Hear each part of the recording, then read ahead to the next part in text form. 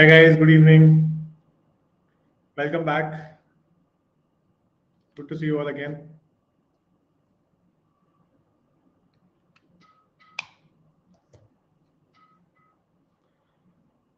Hello, bhai, hello. CLAT came in 2008. Most NLUs were already established in 2000. How did the students get admission? उस time college के अलग से exam हुआ करते थे मतलब जैसे NLU Jodhpur will have a different exam NLS Bangalore will have a different exam तो कॉलेज के एग्जाम हुआ करते थे ठीक है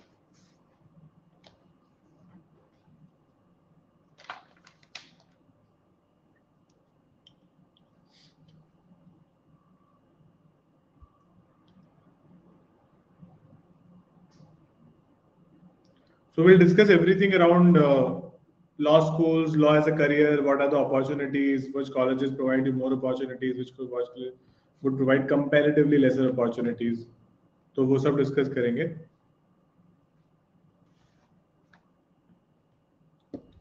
है ना फ्रॉम वेरी बेसिक्स टू आगे की चीज़ें भी कि whatever we want to understand in this session तो whatever doubts you guys have feel free to ask मतलब कोई भी कॉलेज से रिलेटेड या फिर जनरली आप कह सकते हो कि यू नो प्रोफेशन से रिलेटेड क्या क्या अपॉर्चुनिटीज़ होती हैं किसमें कितना पैसा मिलता है, क्या जॉब एक्सपोजर होता है, क्या करते हैं। Will discuss that okay so firstly मैं आपको बता देता हूँ एक सेकेंड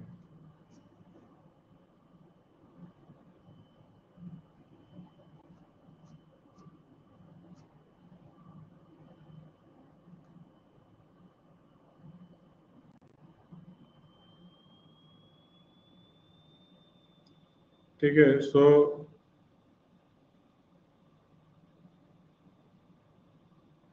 यहाँ पे ना we have started a new batch for CLAT aspirants for CLAT and AILET twenty four ठीक है फ्रॉम थर्टी एथ तो you guys can join this batch also but if you feel के बैच को हो गए पाँच, छह दिन you can join this batch as well this will start in I would say five to six days में start होएगा ये मैक्सिमम तो इस बैच को ज्वाइन कर लो for CLAT twenty four again Malpani आपको कोड यूज़ करना है. You will get a ten percent off on academy ठीक है? And I will be taking general awareness ठीक है? मैं जनरल अवेयरनेस लेने वाला हूँ यहाँ पे. You can definitely take the subscription iconic is one batch which, well, one batch नहीं, one kind of subscription that gives you classes. It also gives you access to an academy's mentor for strategy. And also gives you access to all the study material तो आप study material books वगैरह, वो सब घर पे भेज दी जाएँगे। ठीक है? आठ मंथ्स में हो जाएगा क्लास आराम से क्लियर अगर मेहनत रोज करोगे डेली बेसिस पे तो हो जाएगा। Plus subscription gives you access to all the classes तो आप इसको ज्वाइन कर सकते हो। है ना? मालबानी कोड है मेरा। इसमें आपको टेन परसेंट ऑफ़ मिल जाएगा। Start the preparation don't waste time any more अब बिल्कुल टाइम वेस्ट करने का स्कोप नहीं बचा है मेरे पास। ये आपका मॉक टेस्ट कैलेंडर है इस मंथ का। तो ये सारे मॉक टेस्ट होंगे अकेडमी पे तो आप लोग ये सारे मॉक्स के लिए रेडी रहना। Do all these mocks very diligently properly और अगर कोई एम के लिए स्टूडेंट है यहाँ पे तो उसके लिए एक लास्ट के लिए कुछ एक पंद्रह दिन के लिए छोटा सा some recorded and some new classes वाला बैच है, और एन अकेडमी स्टोर तो ये स्टोर आपको ऐप में एक ऑप्शन मिलेगा तो वहाँ पर आप जा सकते हो। अब देखो, मैं सिंपल सी पहले बात स्टार्ट करता हूँ। For those who are preparing for CLAT और एलेट ठीक है? अगर आप क्लैट के लिए प्रिपेयर कर रहे हो तो क्लैट में मैं जनरल आपको एक मतलब जनरल तरीका बता रहा हूँ कि if you want to actually go to a very good NLU I mean अगर आप top five seven NLU aim कर रहे हो तो you have to aim a score close to 95 to 100 ठीक है 95 से 100 का स्कोर आपको मतलब एम करके चलना पड़ेगा। कि अल्टीमेटली आपको एग्ज़ाम में इतने लाने then you stand a chance to get into top three top five top seven right अब कुछ ऐसे एनएलयूज को जनरल टीयर्स में डिवाइड करते हैं। तो जो टीयर वन के एनएलयूज है ना, इनमें से सारे एनएलयूज में you have a very good job security कि मतलब आपको जॉब्स मिलेंगी इन कॉलेज से। अगर आप कॉलेज में भी ऑब्वियसली आपको थोड़ा बहुत करना पड़ेगा बट आप बेसिक भी करोगे तो जॉब सिक्योरिटी मिलेगी। कैन यू सजेस्ट बीकॉम और बीएलबी कॉलेज नहीं, ऐसा कोई बीकॉम बीकॉम और बीबीए में कोई डिफरेंस ही नहीं है। आप कोई भी ले लो बीकॉम और बीबीए से फ़र्क नहीं पड़ेगा। आपने लॉ कहाँ से किया, उससे फ़र्क पड़ता है। ठीक है तो स्ट्रीम से कोई फ़र्क नहीं पड़ेगा, किसी भी फ़ील्ड में।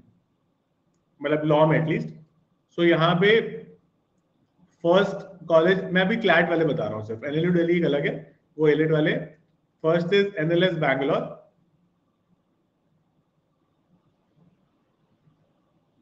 ठीक है then there is NALSAR Hyderabad then there is a clash between NUJS Kolkata and NLU Jodhpur तो फोर्थ भी यही रहेगा ऑब्वियसली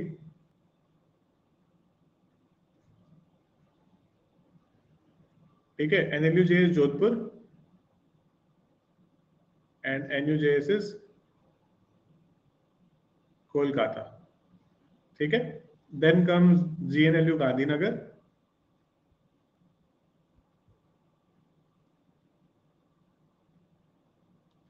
उसके बाद में you will find NLIU Bhopal NLIU Bhopal के प्लेसमेंट्स हैव सफर्ड रिसेंटली मैंने सुना है but it's still in tier one क्योंकि ठीक है। मतलब ऐसे बहुत सॉरी ऐसे बहुत खराब प्लेसमेंट्स नहीं हुए हैं। लेकिन जितना एनएलआईयू भोपाल से एक्सपेक्ट किया जाता था पहले, उतने अच्छे प्लेसमेंट इस कॉलेज के but it's still not a bad college to go and it's still a good place to go तो ये सारे टीयर वन कॉलेजेस हैं। आजकल अच्छी बात ये है कि टीयर टू भी कुछ बहुत अच्छे कॉलेजेस हो गए, जहाँ पर प्लेसमेंट वगैरह लोगों के होते हैं आराम से। ठीक है which is H N L U Raipur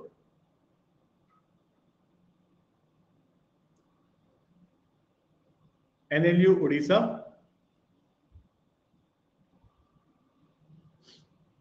M N L U Mumbai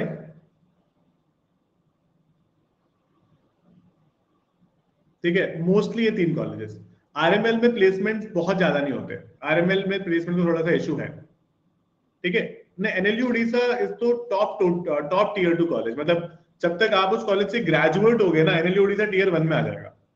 तो it's a very good college right so यहाँ पे जीएलसी तो मैं भी सिर्फ़ एनएलयूज की बात कर रहा हूँ। मैं अभी I am not going talk about GLC and all हाँ जीएलसी अलग है, बिल्कुल अलग है।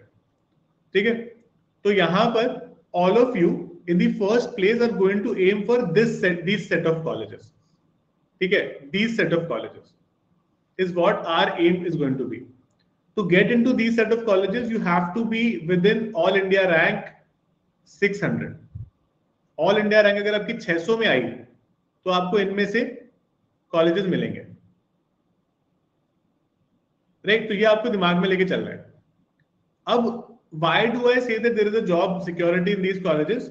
I tell you why because ये जो कॉलेजेस है ना, ये कॉलेजेस सबसे पहले स्टैब्लिश हुए थे एनएलयूज में। जितने भी एनएलयूज इंडिया में सबसे पहले स्टैब्लिश हुए थे। एनएलएस तो देखो बहुत पुराना है, लेकिन बाकी जैसे एनएलएस 1987 में आ गया था। फिर कॉलेज आने शुरू हुए 1999 में और आए।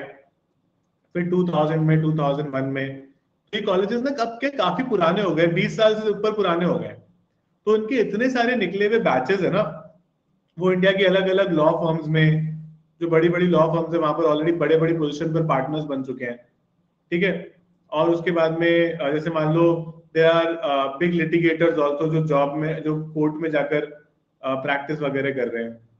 राइट तो ये ये कुछ से बहुत ज़्यादा फ़ायदा है इन कॉलेजेस का कि आपको बहुत ही ज़्यादा बायस होता है इन लोगों का इन कॉलेजेस की तरफ़। ठीक है? I be very frank here when I was in NLU Jodhpur I, read, I really felt this when I went to a law firm, there were so many people at all positions from my college. ठीक है? तो अगर मेरे college के इतने सारे वहाँ पर पहले से लोग थे तो इतना वो एनवायरमेंट ऐसा था कि मतलब it was so easy to gel into that environment क्योंकि आप जब कॉर्पोरेट लॉ की इंटर्नशिप करते हो तो इंटर्नशिप स्टार्ट होती है थर्ड ईयर के एंड में फोर्थ ईयर में कॉर्पोरेट लॉज वाली। राइट तो मेरे पहले तीन साल के बैचेस के भी लोग निकले हुए थे जिनको मैं जानता था।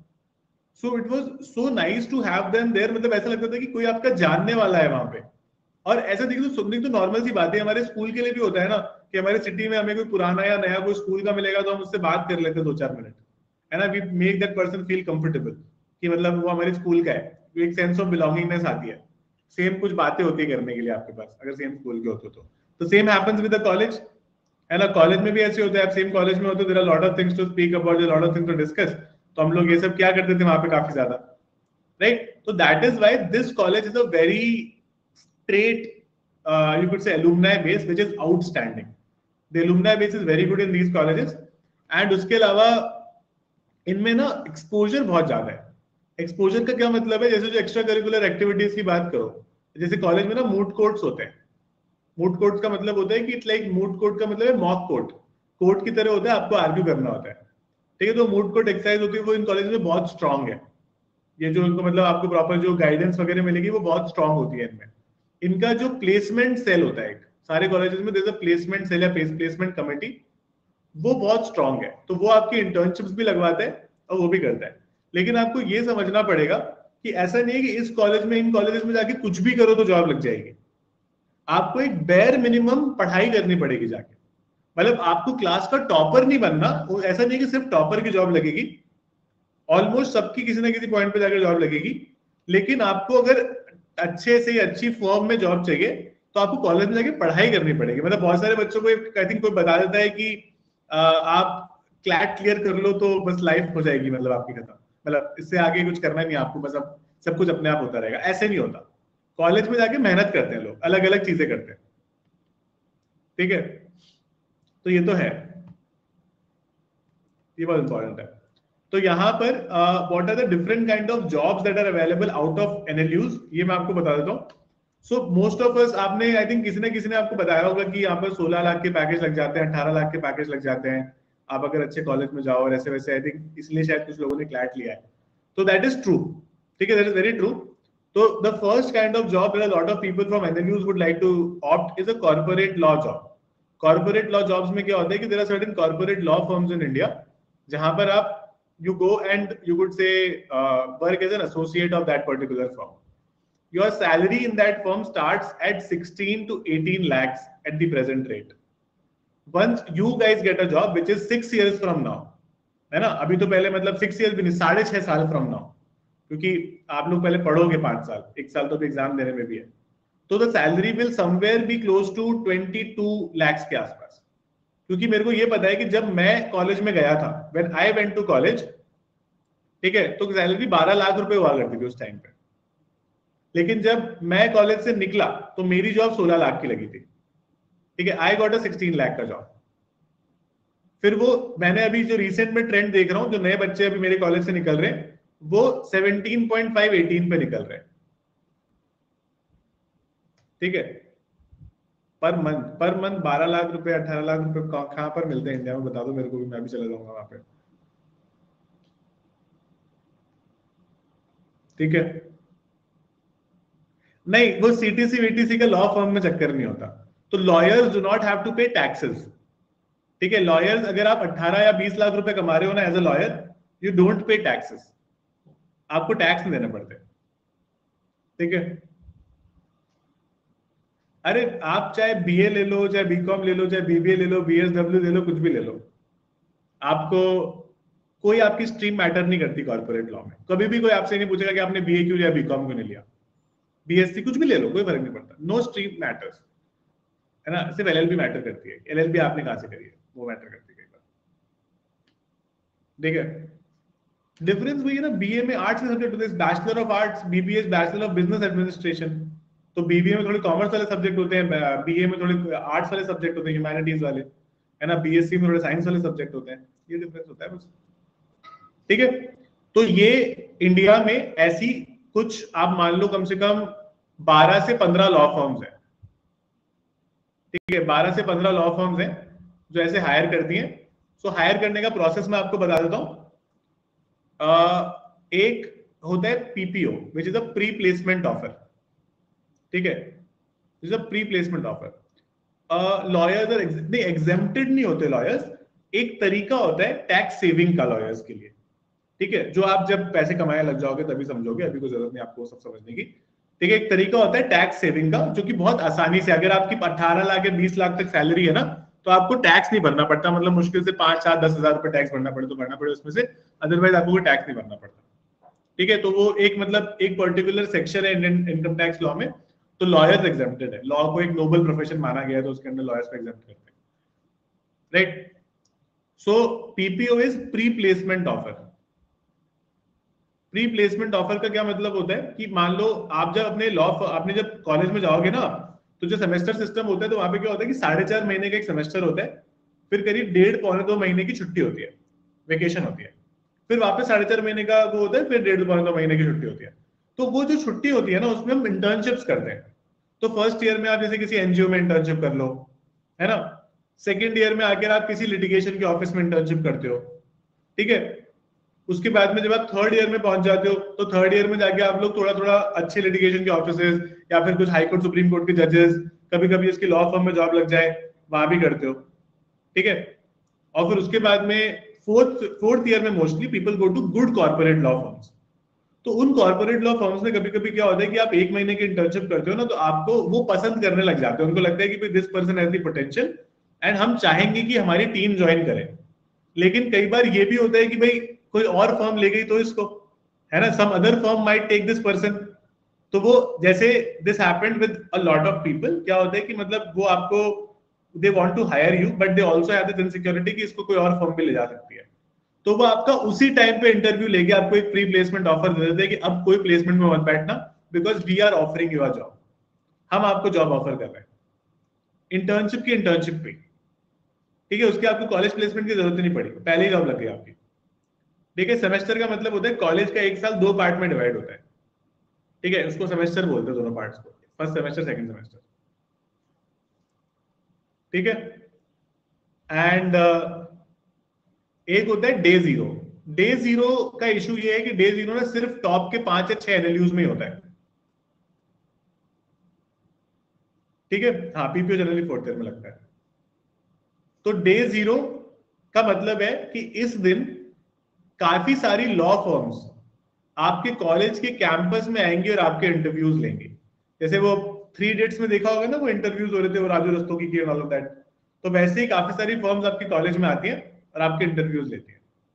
ठीक है? एनएलयू जोधपुर में भी डे ज़ीरो होता है। एनएलयू जोधपुर देश का तीसरे नंबर का कॉलेज है। ठीक है? तो एनएलयू जोधपुर में होता है प्लेसमेंट राइट तो यहाँ पे हाँ जीएनएलयू वगैरह में सब में होता है। राइट पीपीओ फ़र्स्ट ईयर में पॉसिबल नहीं है। तो फिर बाकी के चार साल क्या करोगे कॉलेज में? खेलोगे? ये अगर ऐसी बात करोगे तो फोर्थ ईयर में भी लगेगा। ठीक है? ढंग की बातें करो। तो यहाँ पे पीपीओ और डे ज़ीरो ये दो तरीके के कॉर्पोरेट प्लेसमेंट लगते हैं। ठीक है? These are the ways in which you get corporate placement अब ये सारी जो लॉ फर्म्स है ना, ये सारी इंडिया की लॉ फर्म्स है फ़िलहाल। है ना? जो आपको सत्रह लाख, अठारह लाख, आप जब आओगे तो बीस, बाईस लाख रुपए का ऑफ़र देंगे। अब कुछ सारी फॉरेन लॉ फर्म्स होती हैं। मतलब इंडिया में तो मैंने जनरली ये देखा है कि जो फॉरेन लॉ फर्म्स आती हैं, वो लंदन बेस्ड आती हैं। ठीक है, कि मतलब आपको अगर यहाँ पर जॉब मिली तो आपको लंदन जाना पड़ेगा जॉब करने। यूल स्टे देयर तो जो लंदन की लॉ फर्म्स होती है ना, वो आपको ऑफ़र देती है around thirty two thirty five lakhs per annum का। ठीक है दिस स्टार्टिंग ऑफ़र ये भी सिर्फ़ और सिर्फ़ टॉप फाइव एनएलयूज में लगती है जॉब्स और एक बैच में से करीब दो से चार बच्चों की लगती है। Two to four students from a batch तो इसके लिए आपको क्लास में एकेडमिकली बहुत ज़्यादा स्ट्रांग होने की ज़रूरत है।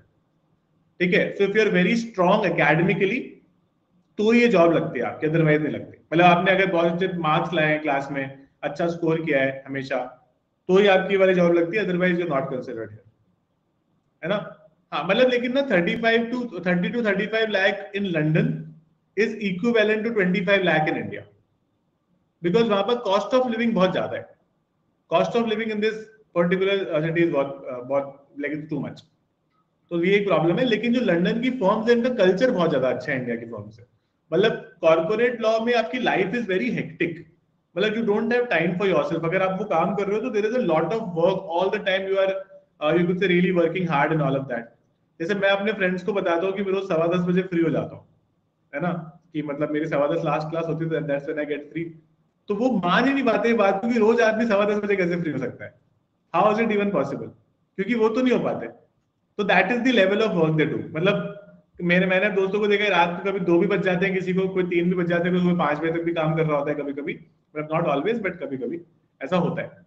सो so, अगर आप बहुत मेहनत करने को तैयार हो this profession is a lot of money for you but it will definitely make you work like donkeys ठीक है काम तो प्रॉपरली करना पड़ेगा आपको वेरी एक्टिक नाउ एक और बहुत सारा आजकल एक बढ़िया प्रोफेशन लोग चूज़ करने लगे which is judiciary people want to write judiciary exams and judiciary से आप क्या बनते हो? You become a judicial magistrate मतलब एक जज बन जाते हो आप। ठीक है? तो यहाँ पे, नहीं नहीं हाई कोर्ट नहीं. हाई कोर्ट तो सुन लो पहले, ठीक है? तो जुडिशियल मजिस्ट्रेट बन जाते हो, ठीक है? आप यू बिकम अ जज ऑफ़ दी सेशंस कोर्ट ठीक है सेशंस कोर्ट के सिविल कोर्ट जो होते हैं, उसके जज बनते हो आप। तो ये जुडिशरी का क्या होता है? जुडिशरी के एग्ज़ाम्स होते हैं कॉलेज के बाद में। ठीक है there are exams for judiciary right तो एग्ज़ाम्स हर स्टेट का अलग होता है। Every state is a different exam so Rajasthan judiciary का अलग एग्ज़ाम होगा दिल्ली जुडिशरी का अलग एग्ज़ाम होगा हरियाणा जुडिशरी का अलग एग्ज़ाम होगा, है ना? ऐसे अलग अलग एग्ज़ाम्स होते हैं। जो नॉर्थ इंडियंस है यहाँ पे, उनको ये फ़ायदा होता है कि एग्ज़ाम्स में ना लैंग्वेज आती है। एक पेपर एग्ज़ाम में लैंग्वेज का होता है। लेकिन पूरे नॉर्थ इंडिया में सिर्फ़ हिंदी चलती है। तो अगर आप नॉर्थ इंडिया से हो तो आप राजस्थान का, दिल्ली का, हरियाणा का, उत्तर प्रदेश का, उत्तराखंड का, हिमाचल का, ठीक है? इन सारे मध्य प्रदेश का, इन सारे स्टेट्स के एग्ज़ाम दे सकते हो। ठीक है? In all the states you can write exam तो ये बहुत बड़ा फ़ायदा है कि मतलब आप किसी भी स्टेट में जज बनने के लिए एलिजिबल हो जाते हो। लिख तो आप तमिलनाडु का भी सकते हो, लेकिन उसके लिए तमिल आनी चाहिए, क्योंकि वहाँ की लैंग्वेज वो एक एक पेपर ज़रूर होगा उसका।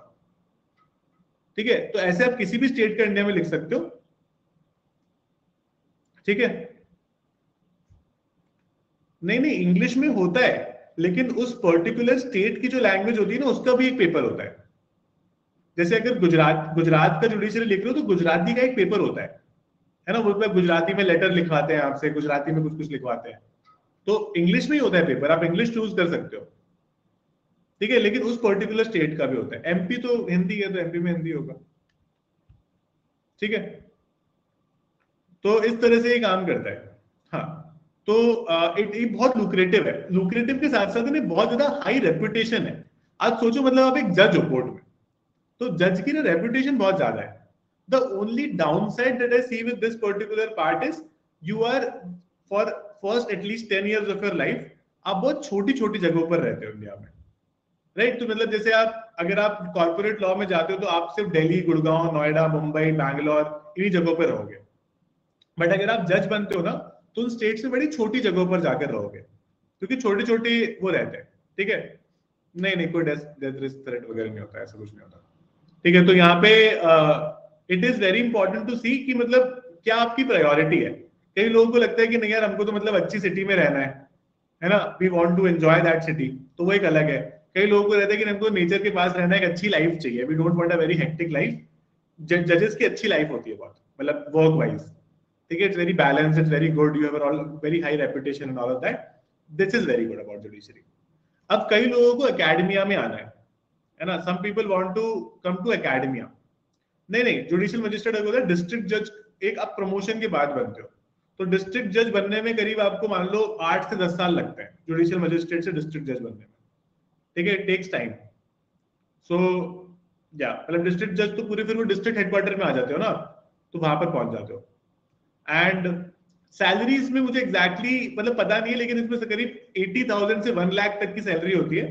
बट ये तो सैलरी अलग ही होती है ना बहुत सारे पर्क्स होते हैं सरकारी काम है तो मतलब there lot of perks here and there है ना? और मतलब जुडिशरी में तो ऐसा है कि फिर जितना भी आप कमा लो तो कमा लो उसमें like there are lot of things under under the table also तो जुडिशरी में कोई सर, सरकारी ऑफ़िस ऑफिसर होके कोई सैलरी नहीं पूछता किसी की। ठीक है ना? क्योंकि सैलरी इज़ जस्ट नंबर वहाँ पे कि ठीक है वो जो मिल रहा है सरकार की तरफ़ से।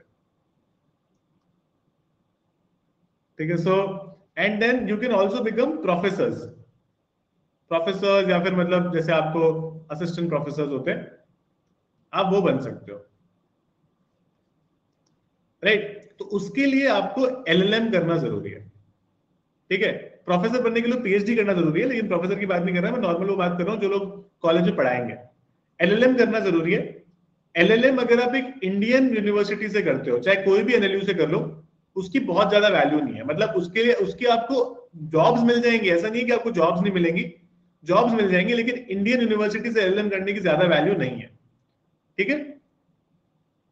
राइट दिस इज़ मास्टर्स जैसे एलएलबी होता है, वैसे एलएलएम होता है. दिस इज़ मास्टर्स तो most of the people who want to do a proper teaching वीचिंग and all एक साल का होता है एल वो इंडिया से बाहर जाते हैं, वो करने।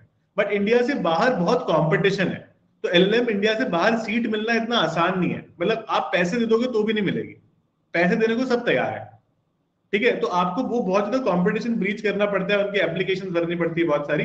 तब जाकर आपको यहाँ पे एल मिलता है अच्छी यूनिवर्सिटीज में ये हो गया। और इससे बहुत फ़र्क पड़ता है कि आपने कौन से कॉलेज से अपना एल एल बी किया था। ठीक है? तो एल एल करते हैं कई सारे लोग। आप एल एल एम करने के दो रीजन होते हैं। कई बार आपको एक फ़ील्ड में इंटरेस्ट है। जैसे मेरा एक फ्रेंड है, उसको ह्यूमन राइट्स में इंटरेस्ट है। है ना? उसको बोलते हैं कि मेरे को ह्यूमन राइट्स में काम करना है, मेरे को लोगों के लिए काम करना है। तो ह्यूमन राइट्स की जो सबसे बड़ी जॉब है ना दैट इज़ यूनाइटेड नेशंस कि आप यूनाइटेड नेशंस के साथ काम कर सकते हो। राइट तो अभी ही is working for an NGO in India that works with the UNHRC United Nation Human Rights Commission है ना? उसके साथ में वो एनजीओ काम करता है। तो वो जब दो साल का एक्सपीरियंस ले लेगा तो वो वो एलएलएम करने जाएगा बाहर। और बाहर जाके इज़ एक्सपेक्टिंग वो ह्यूमन राइट्स में एलएलएम करेगा and then he will get placed in UN somewhere तो ये मतलब लोगों के लाइफ गोल्स होते हैं। कई बार कि हम लोग अभी तो कुछ मतलब इतना नहीं कर रहे बट आगे जाकर we will go to the United Nations directly ठीक है? ऐसे करेंगे। राइट तो ये जो कुछ से बहुत वो है। एंड मतलब इट्स लाइक वेरी ऐसे कह सकते हो कि ऑप्शनल होता है ये। अगर आप कॉर्पोरेट लॉ में जाना चाहते हो जुडिशरी में जाना चाहते हो कोर्ट में प्रैक्टिस करना चाहते हो, उसके लिए एलएलएम की कोई ज़रूरत नहीं है।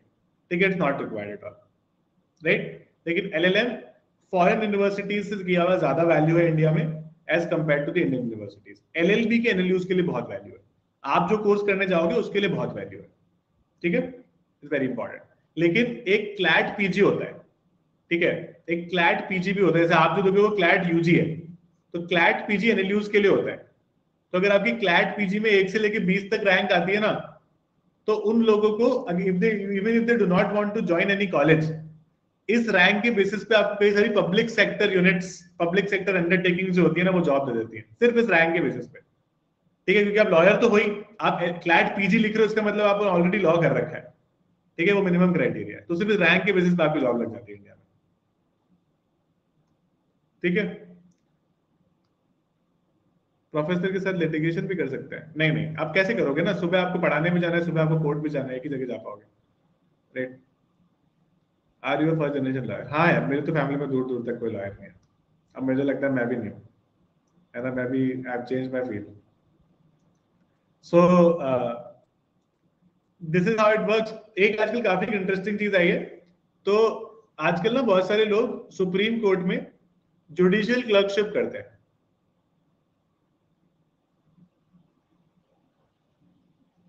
जुडिशियल क्लर्कशिप क्या होता है कि सुप्रीम कोर्ट के किसी जज के अंडर, है ना? अंडर सम जज द सुप्रीम कोर्ट, आप एक तरह से कह सकते हो कि उनके असिस्टेंट हो आप, जज के असिस्टेंट हो।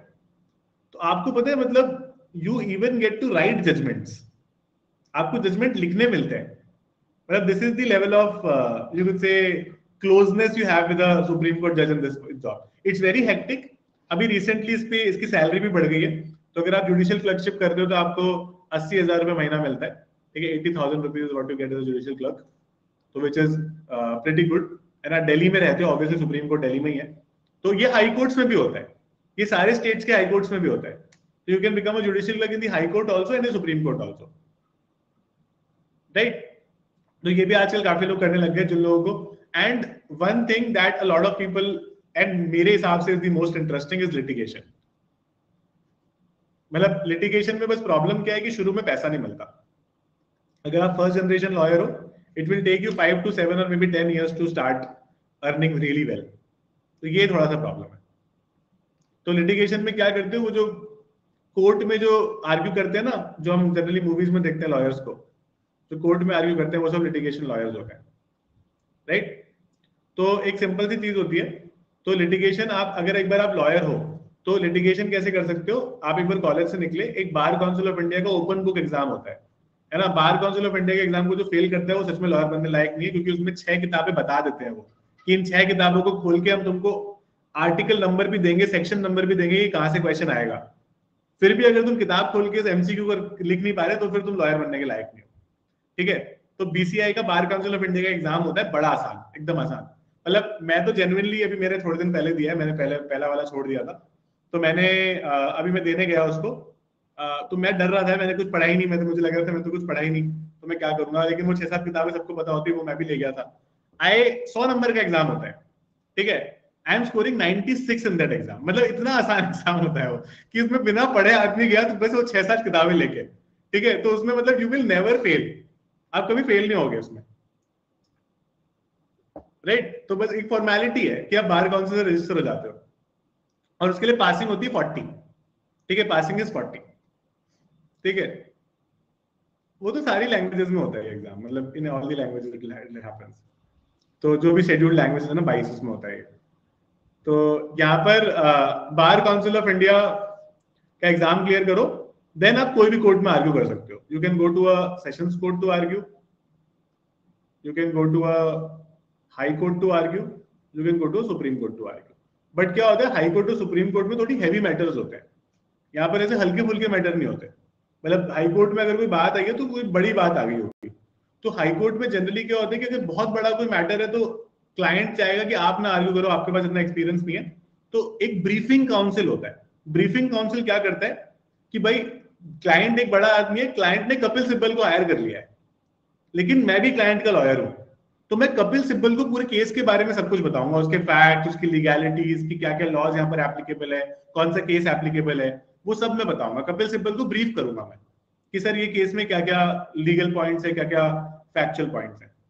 तो इससे क्या होता है कि आपको ना और सारे बड़े बड़े जैसे ये लॉयर्स वगैरह को जानने का भी मौका मिलता है। ठीक है तो ब्रीफिंग काउंसिल्स होते हैं बहुत सारे, इनको पैसा मिलता है अच्छा।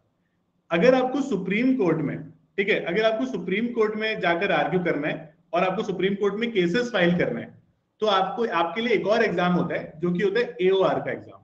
इसको कहते हैं advocates on record supreme court का एक एओआर का एग्ज़ाम होता है। ये आप अपने बार काउंसिल के रजिस्ट्रेशन के और इस एग्ज़ाम में मिनिमम छह साल का डिफरेंस होना चाहिए।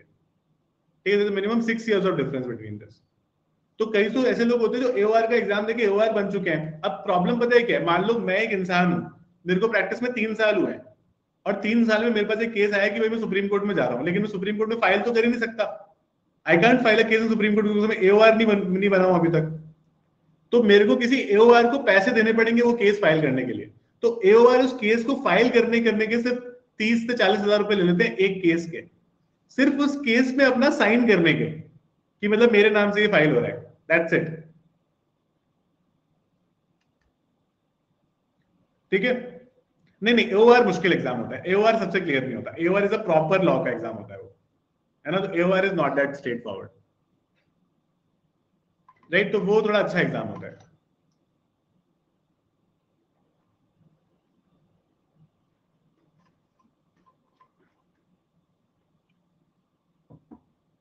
राइट इंटर्नशिप में नॉर्मल जो मतलब लॉ का काम सिखाते हैं ना, वही होता है।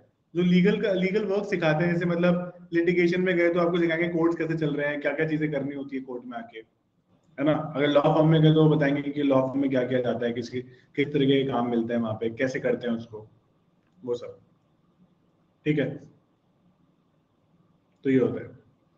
नहीं लीगल प्रोफेशन में ये है कि इंटर्नशिप्स में ज़्यादातर जगहों पर पेमेंट नहीं मिलता है यू डोंट गेट स्टाइपेंड्स ठीक है most of the places during internship you will not get money ये थोड़ा प्रॉब्लमेटिक है लीगल फ़ील्ड में but I think that doesn't matter too much इतना ज़्यादा, ठीक है?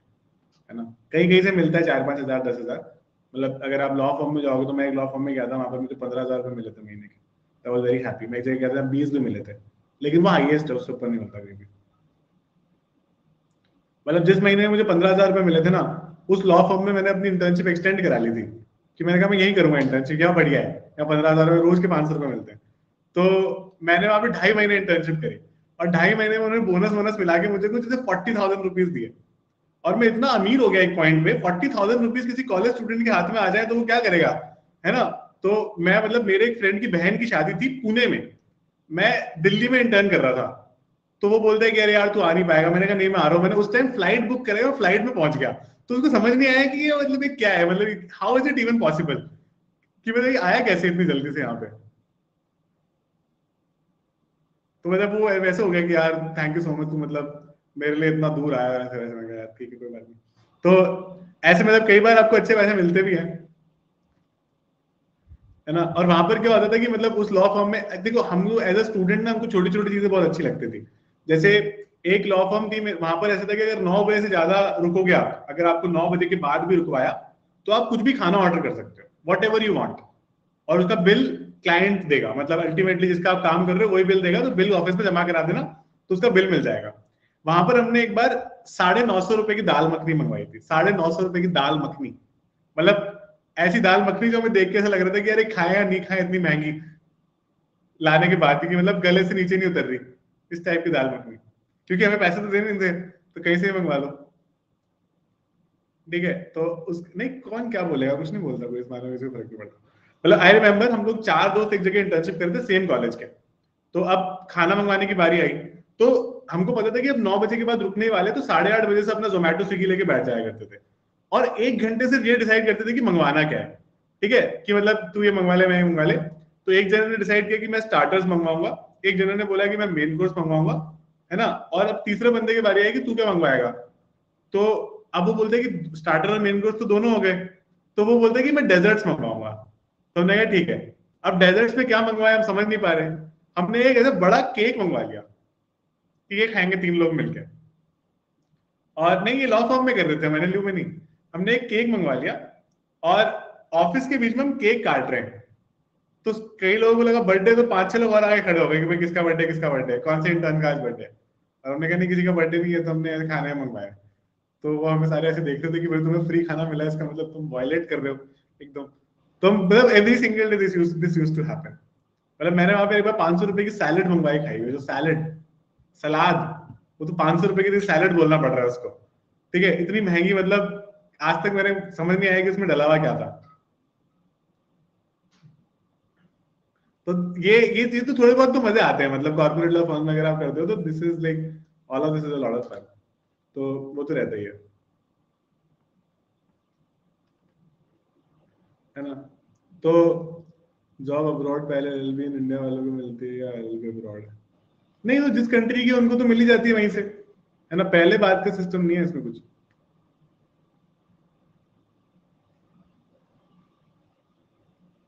So NLUs have fests and all fests वगैरह होते हैं।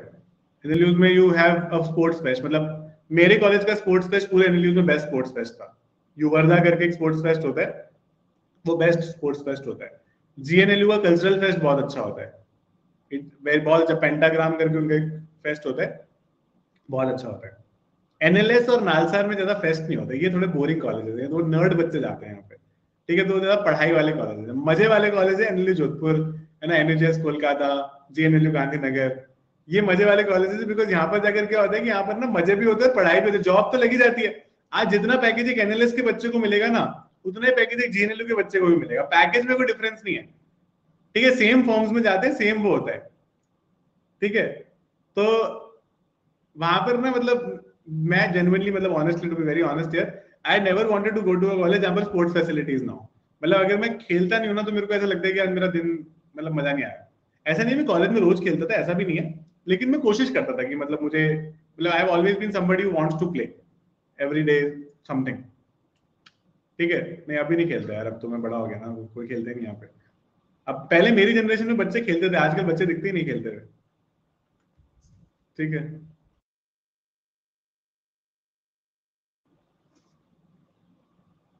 तो ये बहुत इंपॉर्टेंट है। कॉर्पोरेट में चौदह, सोलह तो नहीं बट हाँ मतलब normal day is there good ten hours sometimes twelve hours ठीक है? मेहनत करेंगे तो हो जाएगा ना। अगर इस बात का बाई चांस जवाब मैंने आपको नहीं दिया तो फिर आप क्या करोगे बताओ? What will you do in case ऐसे no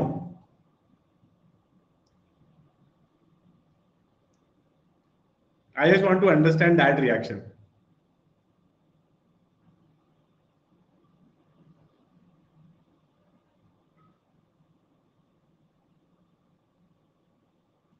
है ना? तो यहाँ पे हाँ हाँ मूड्स तो एनएलएस नालसर में बहुत अच्छे होते हैं। मैं तो बोल रहा हूँ मज़े वाली जो लाइफ होती है, वो थोड़ी कम होती है। एक्चुअली एनएलएस में क्या होता है, पहले तीन साल बहुत हेक्टिक होता है, बहुत ज़्यादा हेक्टिक मतलब बहुत ही ज़्यादा हेक्टिक मतलब उसकी कोई डेफिनेशन ही नहीं है। लेकिन लास्ट के दो साल बहुत ईजी होते हैं एनएलएस में, क्योंकि एनएलएस में क्या सिस्टम है कि पाँच साल के कॉलेज में हाँ तो ट्राइमेस्टर सिस्टम तो बहुत ही खराब होता है। मतलब जैसे मैं सेमेस्टर बोल रहा हूँ ना, आपको साल के दो पार्ट होते हैं, ट्राइमेस्टर में साल के तीन पार्ट होते हैं। तो बहुत पढ़ाई होती है वहाँ पे। तो एनएलएस में जैसे पाँच साल को तीन साल और दो साल में डिवाइड करते हैं। तो तीन साल आपके जितने मार्क्स आ गए ना, वो फ्रीज हो जाते हैं बस। उसमें आपकी फिर सीजीपी और आपकी ग्रेड आपकी रैंक उसके बाद नहीं बढ़ती। तो तीन साल तक जो आपकी रैंक सीजीपी बस वो बढ़ जाती है। फिर जो बाकी की जो दो साल के एग्ज़ाम है ना, उसमें आपको सिर्फ़ पास होना है बस। उसमें पास हो तो बस निकालते रहोगे कॉलेज को। ठीक है? तो ये यहाँ पर तीन साल तक लोगों की एकदम लग जाती है, लेकिन वो एक्चुअली क्या होता है, तीन साल तक इतनी मेहनत कर दो आपकी आदत ही मेहनत वाली हो जाती है। तो वो दो साल के लोग थोड़ी मेहनत कर ही लेते हैं फिर। है ना?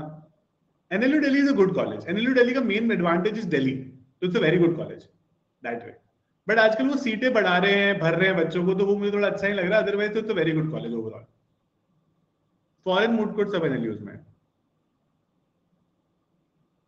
हाँ ये तो है।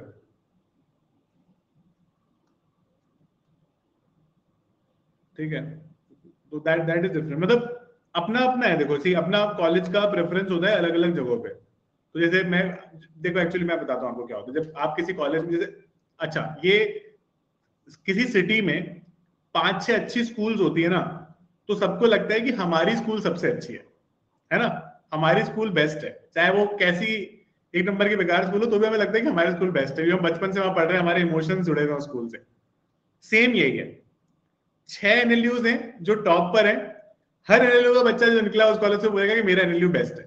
तो मैं इसलिए बोलता हूँ कि एनएलयू जोधपुर बेस्ट है। ठीक है? NLU Jodhpur is genuinely out of this world मतलब you go there and then you will realise कि मतलब मज़ा आया पाँच साल। मतलब मैं जेनुअनली बोल सकता हूँ कि बहुत मज़ा आया पाँच साल। ठीक है it was a great experience there genuinely मतलब you I could do everything that I wanted to do in college. You will still get a job. You will, you can still play there. It will be hectic. But the good part is hectic for everybody. तो सब लोग उस drill में है, सब लोग कुछ कुछ कर रहे हैं, है ना सब लोग एकदम मरे पड़े हैं अंदर तो ठीक है मतलब आप भी वही कर रहे हो तो एक्चुअली क्या होता है, मेहनत आप अभी भी कर रहे हो ऐसा थोड़ी कि फ्री बैठे हो अभी लेकिन वो अनसर्टेन मेहनत है कि एग्ज़ाम में होगा, नहीं होगा कॉलेज में जाने के बाद क्या है, फिर वो आदमी की अनसर्टेनिटी खत्म हो जाती है। फिर वो अनसर्टेनिटी शुरू होती है फोर्थ ईयर में वापस कि भाई जॉब लगेगी, नहीं लगेगी, है ना? तो थोड़ी आती है एक बार, एक साल के लिए। बाकी कॉलेज में कोई इतनी अनसर्टेनिटी नहीं होती अनलेस कॉलेज में कई बार क्या होता है, लेकिन अभी तो फिर भी जैसे आप देखोगे, अपनी क्लास में पचास लोगों का मान लो आप एक स्कूल जाते हो तो पचास लोगों की क्लास है। तो पचास लोगों में से यू विल सी की मुश्किल से बारह पंद्रह ऐसे बच्चे होते हैं जिनसे कॉम्पिटिशन होता है क्लास में। मुश्किल से मैक्सिमम बाकी पैंतीस बच्चों से तो कॉम्पिटिशन ही नहीं है क्लास में। है ना? बारह, पंद्रह बच्चों से कॉम्पिटिशन है। एनएलयूज में ऐसी प्रॉब्लम है कि अब 120 बच्चे अगर अपनी क्लास में बैठे तो सारे 120 बच्चों से कंपटीशन है क्योंकि वो सारे अपनी अपनी जगह के टॉपर्स आए हुए हैं। तो वो कंपटीशन के चक्कर में ना कई लोग बहुत ज़्यादा परेशान हो जाते हैं अपसेट हो जाते हैं और वो बहुत ज़्यादा मतलब मेंटल ब्रेकडाउन वगैरह मैंने देखे हैं बहुत ज़्यादा कि भाई हम तो कम्पीट ही नहीं कर पा रहे, हम अच्छा ही नहीं कर पा रहे, मेहनत करने के बाद भी नहीं अच्छा कर पा रहे कॉलेज के अंदर। तो ये सब प्रॉब्लम बहुत होती है। है ना? मतलब मेरा तो कभी ऐसा मेंटल ब्रेकडाउन नहीं हुआ, मैं तो किसी से कम्पीट ही नहीं किया कभी। मेरा हमेशा से ये मानना है कि भाई अब खुद ही से, क्या कहते हैं कंपीट कर लो, वो काफ़ी है। मतलब मैं जैसा फ़र्स्ट ईयर में तो सेकंड ईयर में मैं बेटर हो गया। ठीक है? तो ये बहुत इंपॉर्टेंट है। कॉलेज में डिस्क्रिमिनेशन डिस्क्रिमिनेशन कुछ नहीं होता। क्या डिस्क्रिमिनेशन होगा? कॉलेज तो बल्कि बहुत ज़्यादा इंक्लूसिव जगह है। सबसे ज़्यादा इंक्लूसिव जगह कॉलेज है। है ना? मतलब there is no discrimination in college ragging waging थोड़ी बहुत होती है बट आई थिंक वो वो फन होता है मोस्टली ठीक है? शुरू में क्या होता है कि मतलब आप कॉलेज जाते हो ना तो यू डोंट नो आप, अभी स्कूल के बच्चे ना, आप स्कूल की तरह ही हो। जैसे हमारे ना कुछ प्री कंसीव नोशन है, कुछ स्टीरियोटाइप्स हैं पेरेंट्स ने जो सही बताया, वो हमें सही लगता है, वो सब दिमाग में चलता है अभी। लेकिन जब आप कॉलेज जाते हो ना तो कॉलेज में क्या बहुत सारी नई चीज़ें पता चलती है। जब आप अलग अलग जगह के लोगों से मिलते हो, एकदम, क्योंकि अभी तो आपके जितने भी दोस्त हो मोरलेस आपके जैसे ही हैं। सेम बैकग्राउंड से सेम जगह पे गए हो, हमेशा सेम स्कूल में पढ़े हो तो आपके जैसे दोस्त हैं सारे। जब वो पूरे देश की जनता मिलती है ना आपको आपको पता चलता है कि भाई हम कहाँ बेवकूफ़ बन रहे थे पिछले अठारह साल से, तब पता चलता है कि अच्छा ये यहाँ पर ऐसे होता है। तो that is a very different world in itself so there are lot of things that are taught to you so some things are taught a little प्यार से, some things are taught little डांट से। तो ragging ना NLUs की अच्छी बात है कभी कोई फ़िज़िकल रैगिंग नहीं होती। ऐसा नहीं है कि मतलब कोई आपको गिरबान पकड़ के फेंक देगा, या फिर कोई आपसे कपड़े उतरवा रहा है, वो सब नहीं होता। वो सब वो इंजीनियरिंग स्कूल्स वगैरह में होता है। वो सब चीज़ें नहीं होती। है ना? रैंडम चीज़ें होती है। मतलब जैसे मैंने एक बार, मैंने आपसे आई थिंक बताया हुआ है कि अब मैंने एक बार चम्मच से कूलर भरा था। मतलब ये ये रैगिंग थी हमारी कि आज तू एक बाल्टी में पानी ले और चम्मच से कूलर भर। ये ये कर रहा था मैंने दो, तीन घंटे एक बार। मतलब दो, तीन घंटे भी ज़्यादा घंटे। तो हाँ। तो ये मतलब एक तरह से गुस्सा ही, गुस्सा आने वाली बात ही है कि क्या बकवास है।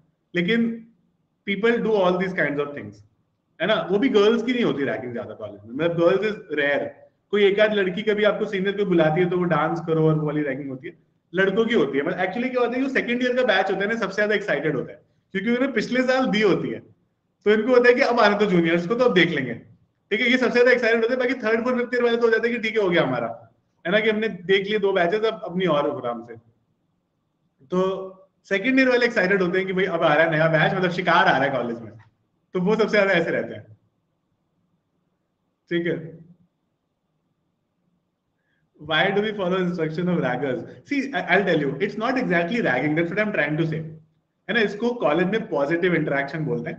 तो अभी क्या होता है ना, जैसे जब आप कॉलेज में जाओगे ना तो कॉलेज में you need to know a lot of people like not just batchmates but a lot of seniors also तो अगर आपको उनसे जानकारी नहीं है, आप उनको जानते नहीं हो ना तो कॉलेज में दिक्कत आती है बिकॉज़ कॉलेज में टीचर्स मिलते हैं एकदम बेकार। ठीक है? एकदम बेकार टीचर्स होते हैं। तो आप ये सोच के जा रहे हो कि मैं टॉप एनएलयू में जाऊँगा, मेरे को बहुत बड़े टीचर मिलेंगे तो आपकी गलत कंसेप्शन है ठीक है? ऐसा कुछ नहीं होता। तो आपको आपके बैच वाले और आपके सीनियर्स ही काम आते हैं। चाहे वो प्रोजेक्ट जुगाड़ना हो, रात, एक रात पहले कुछ और काम करना हो, कुछ नया सीखना हो, कुछ करना हो, वही काम आते हैं सिर्फ़। तो उनसे थोड़ी सी मतलब बना के रखनी पड़ती है। मतलब इट्स वेरी इंपॉर्टेंट मतलब लॉयर का तो पूरा काम ही नेटवर्किंग पे चलता है और वो काम कॉलेज में शुरू हो जाता है हल्का फुल्का। ठीक है? So that is very important ठीक है? आई एम नॉट इंटरेक्शन और कॉलेज में जाके सब इंटरेक्शन बड़े हो जाते हैं ऐसा कुछ नहीं है। कॉलेज में हर टाइप के बच्चे आते हैं वो हर टाइप के बन, बन के निकलते हैं मतलब ऐसा कुछ नहीं है। आज मेरे को, आप मेरी 2015 की फ़ोटो देख लो तो आप मेरे को पहचानो कि नहीं, आप मेरी बात ही नहीं सुनोगे इतनी देर तक। मैं पिछले 50 मिनट से बोल रहा हूँ, आप मना कर दो कि नहीं, साहब की बात नहीं सुनेंगे। ठीक है? तो आपका कोई हाँ सब सीनियर दोस्त है, सारे मतलब एवरीबडी इज़ फ्रेंड मेरे इतने सारे सीनियर जो जज बन चुके हैं, इतने सारे अच्छे अच्छे कॉर्पोरेट लॉ लॉ फर्म्स में हैं। वेरी डिफरेंट पीपल नहीं नहीं यूनिफॉर्म्स नहीं पहननी होती। यूनिफॉर्म्स नहीं पहननी होती। बस ऐसा होता है कि जब आप क्लासेस में जाओ तो ये थोड़ी सी गाइडलाइंस होती है कि डिसेंट क्लोथ पहनो। मतलब ऐसे मत करो कि शॉर्ट्स में पहुँच गए क्लास तो that applies for both boys and girls कि शॉर्ट्स पे पहुँच गए तो कभी कभी कोई कोई टीचर होता है तो वो टोक देता है कि मतलब क्लास की सैंक्टिटी बना के रखो। बेसिक्स बाकी तो ऐसा कुछ नहीं है। बाकी देर इज़ नथिंग हाँ गेस्ट लेक्चर्स बहुत होते हैं। गेस्ट लेक्चर्स में मतलब हमारे कॉलेज में कई सारे सुप्रीम कोर्ट के जजेस हाई कोर्ट के जजेस आए हुए हैं। कई सारे ऐसे कॉम्पिटिशन होते हैं जो हाई कोर्ट के सिटिंग जजेस जज करते हैं। मैंने आपको मेरे पीआईएल कॉम्पिटिशन के बारे में बताया था। ना? दैट वाज जज बाय सिटिंग जजेस of the high court itself hostel college to college होता है। कैसा है, खराब है, वो कॉलेज टू कॉलेज होता है। तो जैसे मेरा जो कॉलेज था उसमें सिंगल ऑक्यूपेंसी रूम्स थे। सबको अपना अपना रूम मिलता था। तो वो एक अलग अच्छी बात थी कि मतलब everybody has their own room है ना? और बाकी जो क्या कहते हैं, दूसरे कॉलेजेस होते हैं, कहीं पर डबल ऑक्यूपेंसी है, कहीं पर ट्रिपल भी है तो वो कॉलेज टू कॉलेज डिपेंड करता है। That's a different college specific discussion ठीक है? How to manage family pressure अभी मतलब क्लैट के टाइम है कॉलेज के time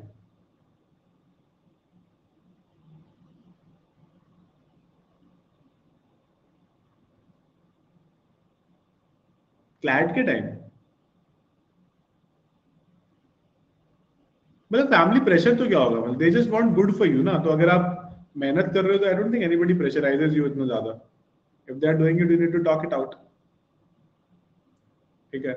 I am from Jodhpur home town में कॉलेज इज़ फाइन हाँ हाँ मतलब परफेक्ट मेरे I had two friends from Jodhpur in Anil Jodhpur Anil Jodhpur के हर हर बैच में कम से कम आपको छह से आठ लोग मिलेंगे जोधपुर के, कम से कम. तो I had a friend from Jodhpur वो ना एक बार वहाँ पे गई मार्केट में गई अपने फ्रेंड्स के साथ में.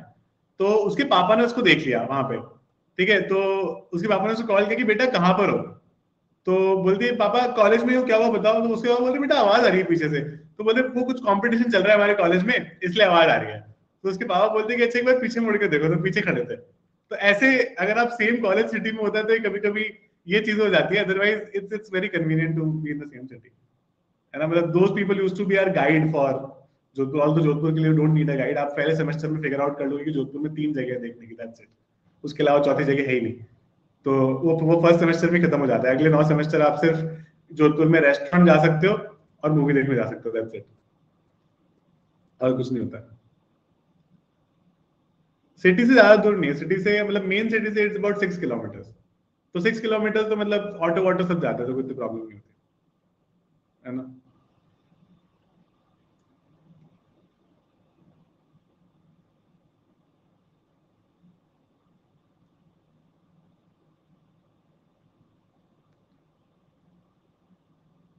Should we go for judiciary और कॉर्पोरेट लॉ नहीं, ये तो आपके इंटरेस्ट पे I think this is a very premature stage to decide कि आपको क्या करना चाहिए। आपके पास सारे ऑप्शंस खुले रहते हैं, है ना? आप कॉलेज में जाके एक्सप्लोर करो, समझो चीज़ों को। अभी तो आपको कुछ पता ही नहीं ना लॉ के बारे में, कि लॉ आपको क्या प्रोवाइड कर सकता है, क्या चीज़ें आपके पास अवेलेबल हो सकती हैं। तो वो कॉलेज में जाके आपकी थोड़ी मतलब एक तरह से कह सकते हो, आँखें खुलती है। लॉ स्कूल की अच्छी बात ये होती है कि everybody start from scratch again सब ज़ीरो से स्टार्ट करते हैं वापस, क्योंकि लॉ थोड़ी आता है किसी को। तो इसीलिए सब वहीं से स्टार्ट करते हैं एंड वहाँ पर जाकर फिर वो फिगर आउट करते हैं कि क्या करना है। कई कई लोग किसी सब्जेक्ट में इतने इंटरेस्टेड हो जाते हैं कि वो उसको बहुत कुछ अच्छा अच्छा लिख के अथॉरिटी बन जाते हैं। एक को एनयूजेएस का लड़का है आई डोंट नो वो कौन सा लॉ है, मैं कोई एक बहुत नीच लॉ है कोई तो उसमें उसको इतना इंटरेस्ट आया कि उसने फोर्थ ईयर में किताब लिख दी, उस किताब, उस बुक पे। मेरा भी सीनियर है वो काफ़ी मतलब उसने शायद 2015-16 में लिखी होगी वो किताब। उसने अपने फोर्थ ईयर में बुक लिख दी, उस उस लॉ पे। तो इतना इंटरेस्ट होता है कई लोगों को। राइट तो ये मतलब अलग अलग चीज़ें हैं, आपका इंटरेस्ट पर है, आप वहाँ जाकर क्या करते हो?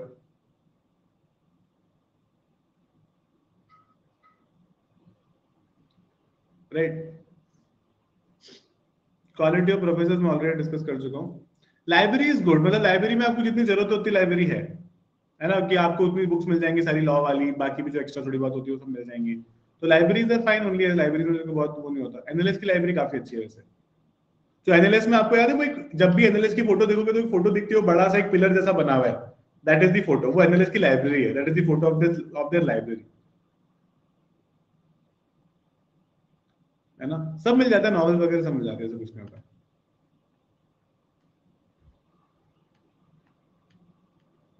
ठीक है। Cost of living at NLU ranges from your shock क्योंकि कॉलेज में जाके लोगों को नए शौक लगते हैं। है ना? तो एक एस एच ओ सी के वाला शौक भी लगता है और एक हिंदी वाले नए शौक भी लगते हैं कॉलेज तो अगर आपको काफ़ी सारे शौक लगे हैं कॉलेज में जाके तो फिर आपका खर्चा बढ़ जाता है। मेरा एक दोस्त है उसके वो अपने घर से पाँच हज़ार रुपए सिर्फ़ लॉन्ड्री के मंगवाया करता था हर महीने, कि लॉन्ड्री करूँगा। और वो इतने गंदे कपड़े पहनता था कि मतलब जैसे महीनों से ना धुले हो, क्योंकि वो पाँच हज़ार रुपए कहीं और ही जा रहे होते थे। ठीक है? तो वो एक अलग चीज़ है। जोधपुर का कॉलेज बहुत बड़ा है। मतलब जोधपुर और NALSAR is very big campus JNLU also is a very good campus campus के मामले में थोड़ा पीछे रह गए N U J S N L S और you could say Delhi also in that man Delhi थोड़ा पीछे है। कैंपस तो जोधपुर जेएनएलयू इनका बहुत अच्छा है।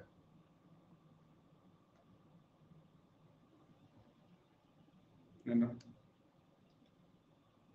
छोटा कैंपस है। एनयूजेएस भी बहुत छोटा कैंपस है। NUJS is five acres Jodhpur is fifty five acres तो आप सोच सकते हो डिफरेंस है ना? ये डिफरेंस है। कपड़े खुद धोने पड़ते हैं। नहीं ऑप्शन होते हैं। आप पैसे देके धुलवा भी सकते हो। धुलवाने का भी ऑप्शन होता है।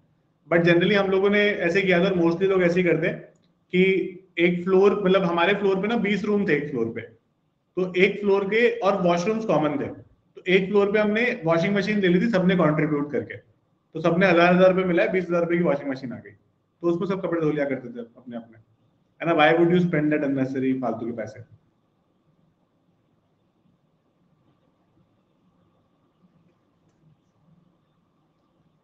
जोधपुर में रिलेटिव्स हैं, उससे कोई फ़र्क नहीं पड़ता। रिलेटिव्स एक तरफ़, वो वो जनता एक तरफ़ रहती है। जो पढ़ाने वाली जनता है, उसकी वो एक तरफ़ रहती है, पढ़ने वाली जनता पूरी एक तरफ़ रहती है कॉलेज में। तो उनकी लाइफ एक तरफ़ चलती है तो उससे कोई फ़र्क नहीं पड़ता। जोधपुर में सब एक दूसरे को जानते हैं, भाई रिलेटिव ना हो तो भी आदमी की जान पहचान निकल जाती है। आरजीएनएल पटियाला का कैंपस बहुत सुंदर है वेरी ब्यूटीफुल और काफ़ी नया सा कैंपस है उनका। एंड उनके पास they have ACs in their hostels मतलब लोगों को एसी वैसी मिलता है गजब यार। हाँ। तो ये सब है। I think that's it celebrities celebrities मतलब बहुत बड़ी सेलिब्रिटीज तो नहीं बट जैसे हमारे कॉलेज में एक बार प्रतीक कुहाड़ आया था तो Prateek Kuhad is a decent enough celebrity है ना? ये न्यूक्लिया आया था एक बार परफॉर्म करने। लोकल ट्रेन आया था if you know about this band it's a very famous band अब तो वो डिसबैंड हो गया बट लोकल ट्रेन इस टाइम अच्छा बैंड हुआ करता था, वो आया था। तो ये सब आते हैं। नहीं, बादशाह बादशाह नहीं भाई। मतलब वो है कि आपके किसी कॉन्टैक्ट्स हो और क्योंकि बजट इतना नहीं होता है न्यूज़ का कि इतने सारे लोगों को बुला ले, है ना? तो नॉर्मल लोग आते हैं ऐसे generally in which order we have to decide, which law we have to do वो तो eventually you keep deciding that मतलब मैं तो फिफ्थ ईयर तक भी क्लियर नहीं था क्या करना है। Most of my friends are not clear by fifth year also क्या करना है। तो वो सब अलग अलग है। स्टैंड अप कॉमेडियंस में राहुल दो आया था एक बार।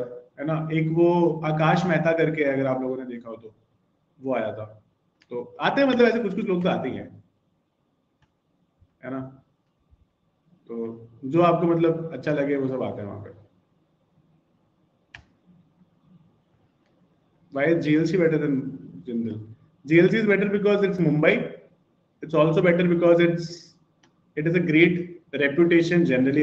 college and the fees is very minimal GLC की फ़ीस दस हज़ार रुपए है। ना? मतलब वो भी अगर आपको कुछ भी स्कॉलरशिप नहीं मिली तो वरना साढ़े छह हज़ार रुपए भी है। मैंने आज वो अक्षरा का जो वीडियो डाला ना, उस अक्षरा की तो साढ़े छह हज़ार रुपए फ़ीस है। साल की। तो डिफरेंस देख लो, बहुत ज़्यादा डिफरेंस है। है ना? प्लेसमेंट के पर्सपेक्टिव्स भी जिंदल से बेटर है जीएलसी में मुंबई है ना तो मुंबई की लाइफ ही अलग है। आप सोनीपत और मुंबई को कैसे कंपेयर कर सकते हैं राइट तो वही होता है। चलो आई थिंक साढ़े ग्यारह बज गए। सब लोग थक गए होंगे थोड़ा थोड़ा will take rest and will keep discussing this things more and more तो आई थिंक आज कुछ क्लैरिटी तो मिली होगी काफ़ी सारी चीज़ों पे। फ़ी स्ट्रक्चर सारे कॉलेजेस का अलग होता है। इसके लिए मैंने एक अलग से वीडियो निकाल रखा है। है ना? तो वीडियो देख सकते हो आप लोग मैंने सारे फ़ी स्ट्रक्चर डिस्कस किया है। तो it generally ranges from two lakhs to three lakhs ये होता है पर एनम है ना? चेंज होता रहता है।